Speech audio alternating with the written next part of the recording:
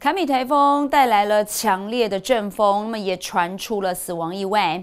花莲市一栋民宅上方的铁皮被强风吹起，导致女儿墙掉落，砸中了下方的一辆轿车后座，造成车内妇人不幸丧命，儿子呢是命为昏迷。那么根据了解，这栋大楼是美伦饭店所属的员工宿舍，饭店协理已经是被通知到警局来做笔录。相关单位也表示，等天气稍微好转，一定会追究整体的意外责任。狂风吹起，巨大铁皮撞击砖瓦，一整块女儿墙从顶楼坠落，砰的一声，瞬间压垮底下轿车。男子冲到后座，近乎崩溃的死命拽车门，想要救出妻儿，却无力回天，造成一死一伤的悲剧。往窗户外面看，就有看到一台白色车被砸，然后我那时候就立马冲下去帮忙救人。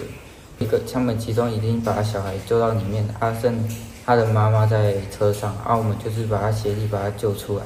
女儿强变成杀人凶器，势必要追究责任。这栋大楼是美伦饭店的员工宿舍，饭店协力也到派出所做笔录。